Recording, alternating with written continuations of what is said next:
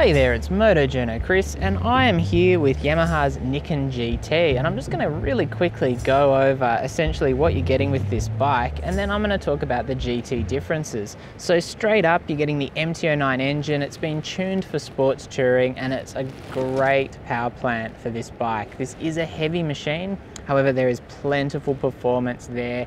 Uh, as long as you've got it in one of the sportier modes, not in the rain mode, the performance and the, the throttle response is absolutely beautiful and it will propel you up to illegal speeds very very quickly. So despite the fact this being a very heavy bike it is not at all restrained due to the engine. The MT09 is kind of that perfect power plant for a machine like this. Obviously you're getting the dual front wheel front end it's a quite a complex mechanical setup. It works really, really well. I'm really impressed with it. I think probably my one big gripe with the system is that I'm not getting that much feel from it, but I'm also not spending that much time with the bike. So I've got to question whether it's something that I would build up over time if I owned this bike, which is that's quite often the case with unusual machines. You you actually spend more time with the bike and then as a result you get to know their quirks. So that's quite possibly the case. It's got really, really powerful brakes on those front discs. They're, they're Yamaha brakes. 15 inch wheels on the front, so they're, you know, smaller wheels. However, with that being said, I mean, they are really, really powerful. There's plenty of stopping power on this, and obviously having essentially four forks on the front makes for a very well supported front end.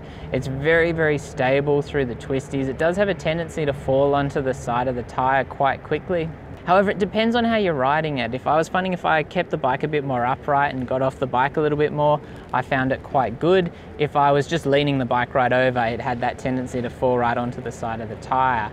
And the other thing about that front end is at really low speeds through traffic, like if you're crawling along at a couple of kilometers an hour, you have to be really careful because those wide bars give so much rider input that it's very easy to end up kind of wandering the bike around with even just the smallest of rider inputs. And it's something you can ride around, but it's certainly not a machine that I'd really want to be stuck in uh, stuck on in traffic every day in you know really peak hour horrible traffic but I mean obviously that's not what the bike is designed for at the end of the day uh, it's got a very generous seat a very generous pillion position as well as you can see here You've got like a nice stretch from the pillion seat down. You've got a great grab rail here. No doubt you'd be able to probably put some more luggage on. You've got rubber clad pegs there. You've got a little bit of vibes through the bars, but nothing that I find uh, too problematic for longer rides. Um, it's just there, it's noticeable, but it doesn't cause any numbness, it doesn't cause any pain in the hands. You've got quite a cool electronic system. You've got ride modes, you've got traction control, obviously you've got ABS as well. So it's, it's well spoken for as far as the technology. And obviously the styling is very, very out there and the, this whole bodywork section is there because all of those moving parts actually do come right up into those sections. So, you know, there's a lot going on when it comes to this particular machine and you might think that the front end styling is a bit unusual, but it's very much necessary to make sure the mechanics work and there's room for them to work properly. I find the seating position nice and upright, obviously wide bars, you know, a very nice seating position, a very, very casual kind of leg position as well. It's very much, you know, sitting up like you're in a, in a chair essentially.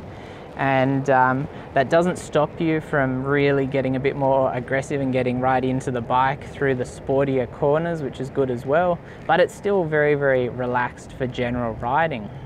You don't feel the weight once you're moving and I have to say it's quite a nice thing through the corners. It's a nice thing to hustle through the corners as well. You know, there are some situations where you you kind of the, the steering gives it a almost boat-like feel with the way it um, tracks through the corners. Uh, but generally speaking, it's quite a quite a nimble thing, quite a fun thing to ride. And to me, as I said, the biggest thing is just the the lack of feel. Not necessarily a lack of grip, but just the lack of feel to me is what keeps coming back to me. And uh, affecting how far I kind of can push or how far I'm happy to push because I could just keep pushing until I find that limit but I'm generally not that kind of rider, especially not on the road. I just don't think it's worth it.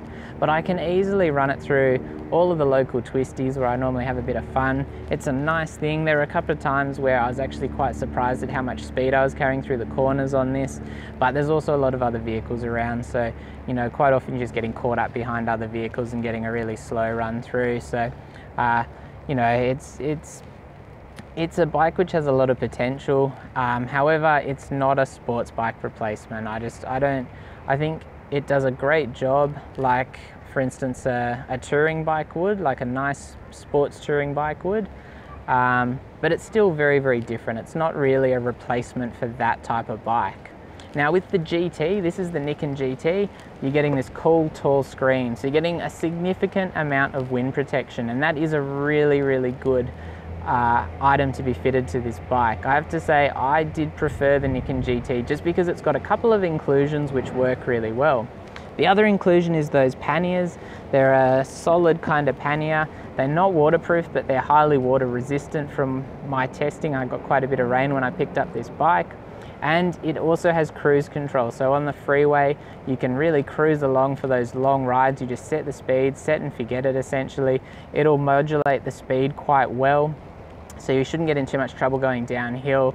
And uh, then it's got heated grips, which is probably my favorite item on this bike because it's been getting cold here in Australia and I love heated grips in winter because I normally wear summer gloves for as long as I can and having the heated grips I just crank them up to a higher setting and I'm comfortable. So I really do have to say I really like the Niken GT. I, um, I just think it's an awesome thing. I think what this does well and what you'll have a lot of fun on is basically touring and a bit of sports touring and having some fun through the twisties because it's surprising the lean angle that you can carry on it.